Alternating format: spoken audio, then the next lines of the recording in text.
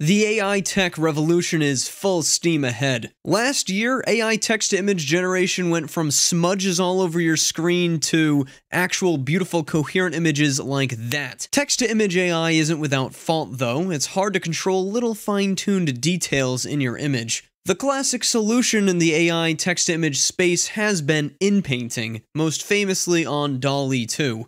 And DALL-E 2's inpainting is pretty good. You can erase that little section and it will regenerate that section. Of course, DALL-E 2 is expensive, and the DALL-E 2 generation in general really isn't that great. It's just the inpainting that's nice. Stable Diffusion has its own form of inpainting that people have used from time to time, and it's just not nearly as good as DALL-E 2's inpainting. Perhaps inpainting was the last good thing DALL-E 2 had left for it. Unfortunately for DALL-E 2, that ends today because Playground AI just released inpainting that is an absolute game changer in the AI space. This inpainting is really darn good. And what's best is that you can try it out for completely free on Playground AI's website. Playground AI supports up to 1,000 generations per day for free on its website, and then over 60,000 per month if you sign up for their $15 plan, which is a pretty good deal. Not only this, Playground also has their own implementation of Pix2Pix, which is AI image editing from a text prompt, which I talked about in a video last week. In my opinion, the Pix2Pix implementation that Playground AI did is my favorite implementation of it so far. By the way, guys, if you make anything cool, please share it on my Discord. A quick rundown of the Playground AI interface. You can choose between the different models here.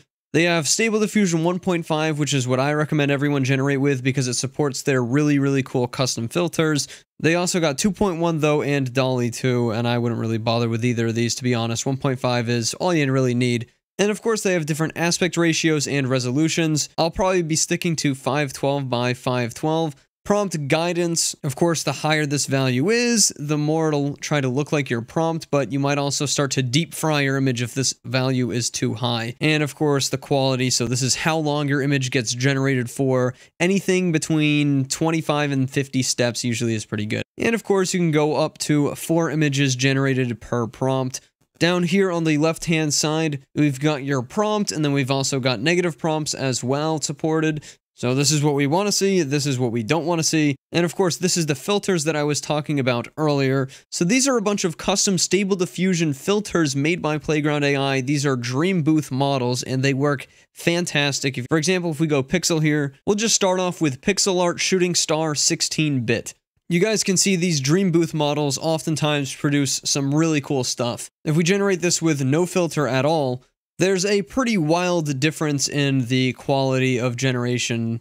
This, in my opinion at least, is a lot better than this. And you guys can see there's also image to image supported. You can either draw or upload an image to use as inspiration for your final generation.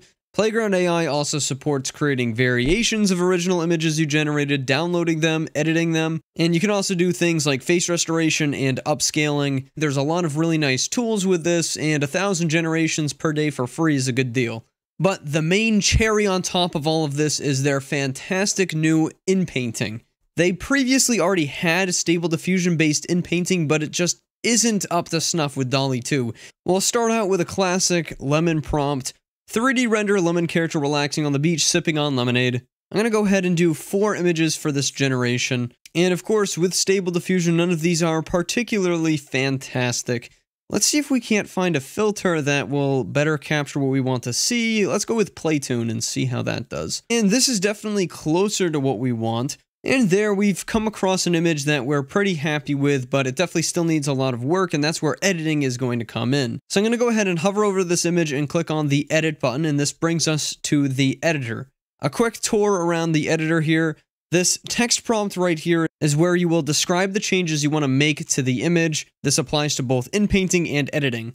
They've also got negative prompts like we saw before, We've got the edit instruction strength. This is a very, very important slider here. You're going to be messing around with the slider, tweaking it about, trying to find the right strength here to complete your instruction that you've typed on the side.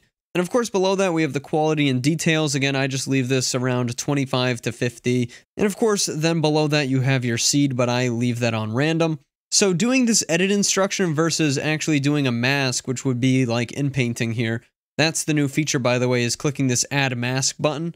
So we'll get to that, but first let's talk about instructions. Let's say I want this whole image to change in some sort of fundamental way that wouldn't suit in painting, like make it snowing outside or make there fireworks in the background. Let's try that. Make it nighttime and fireworks in the background. There's my edit instruction. You know, that would be hard to change with just doing in painting, so that's where this one comes in handy. Our edit strength will start out at 6.75, but we'll see if we need to raise or lower it based off of our first test run.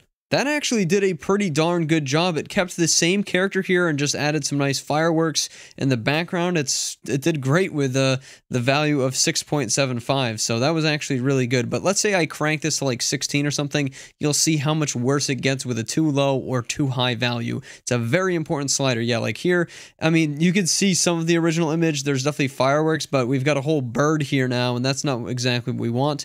But if it's too low, you'll see it's bad in the opposite direction where we just get the same exact image here, there's no differences or changes made. But with the right value, the sweet spot of about 6.75, we get that perfect sweet spot generation. And of course, if I really like the fireworks, I could click on edit this image, and then I'll be editing this one instead of this one. But we want to work with this one for now. So I like the fundamentals of this image, but there are a few things that need to be changed. So I'm going to click on the add mask, and that brings us into the in painting here. Pretty simple controls here. We've got this little one, which is the erase. So I could start erasing things, for example. But if I wanted to heal everything I erased, I can click over onto this other button and start to fill in what I already erased. So that's sort of the controls. And of course, you've also got size to how big things can be. So if I want to erase them like really quickly, I can make the size of this really large. Okay, so there's a few things I want to change about this image. First of all, these creepy ears gotta go. So I'm just going to slowly remove the ears here. And I'll just type in lemon character here and click on generate and see if we can't just remove the ears, essentially erase them. Mm, that didn't do it. We're going to do a little bit more here. Let's just do background and see if it's going to just replace that with background for us. So we actually were able to remove his ears pretty easily here. You just needed the right prompt. I just typed in perfectly circular and it understood the assignment and got it done. It made him perfectly circular. We're going to need to add a few things to this character to make him a little bit better. But uh, yeah, that's how we did it here is we just did perfectly circular and now he's just a ball. However, that's good. I want to continue on with this image, so I'll click edit this image, and now we're going to be using that one instead. So he's still not the exact way that I want him. We'll just use the edit instruction now and we'll say give him the texture of a lemon because he's too smooth. He looks like a bouncy ball. He needs to have the texture of a lemon. Oh, and this thing took it way too far. All right, he's full lemon. Tone it back. Tone the edit instruction strength down to 7. It was at 10. Oh, a little bit better, but still not there. We clearly need a lower instruction value. Let's try 5. A little bit more lemony. Let's see if we can't do this with in painting. We'll add the mask now and just mask out this portion of this guy's face. That's the only portion that's going to be the texture of a lemon. And we're definitely getting a little bit of lemon texture on there. We'll increase the instruction value a little bit more and see if it gets a little bit closer. Okay, we're definitely starting to get that lemon texture. I'm going to tone it down a little bit. And with enough tweaking here, we actually ended up with something pretty good. He got a little bit of texture on his skin. He lost his mouth. That's okay. We can add a new one back in. But I like this edit, so I'm going to click on edit this image to continue what I'm creating. And you'll notice that we can actually be pretty loose with the in painting here. We can sort of just highlight around him and it understands that we're only trying to select this object. He's got these weird pink feet. I don't like them. We're going to need some new lemon feet. So we'll highlight just these feet again Anthropomorphic lemon feet and legs. Let's see how it generates. We'll do a 7 instruction strength and see how that works to start off with. Definitely not strong enough. Alright, we're getting feet that are way too human, so we're going to do some remove from image prompts here. There we go. That's a little bit more like it. I actually really like that. All right, I'm pretty happy with these feet that we've generated here, so I'm going to go ahead and click on edit this image to continue this generation. Let's go ahead and add that smile back into this.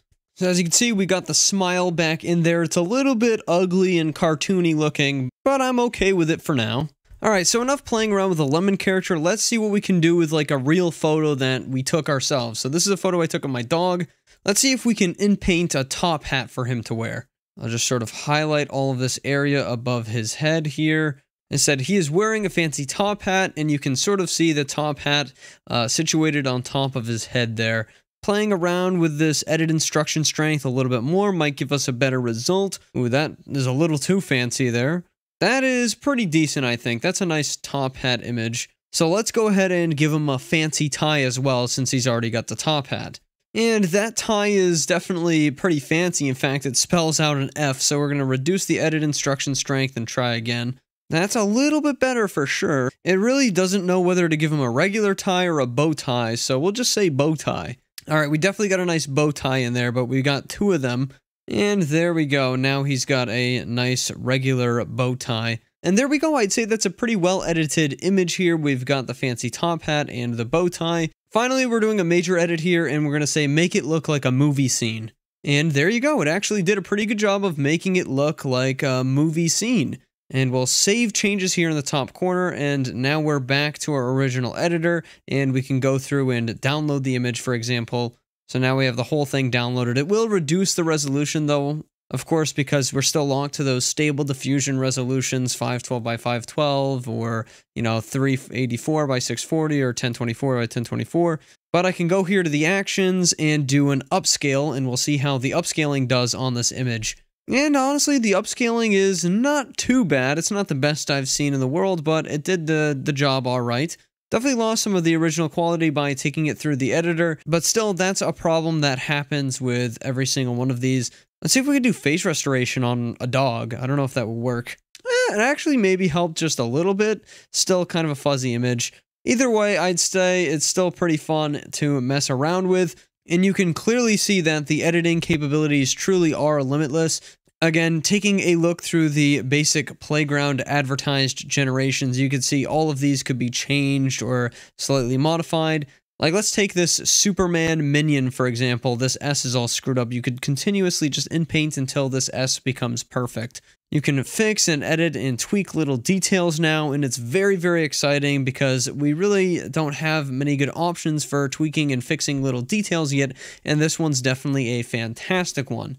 Viewers at home, please let me know what you think down in the comments below, and let me know if you're able to use this editor to make anything super cool. I'd love to see it on my Discord server. I haven't compared it directly with DALL-E 2, but I have a hunch that it's kind of a back and forth game. Both models have their strengths and weaknesses at the end of the day, and obviously this one can't do outpainting while DALL-E's can, but DALL-E's quality, in my opinion, has gotten worse over the time period that it's been released. I don't know if they changed some settings around or whatnot.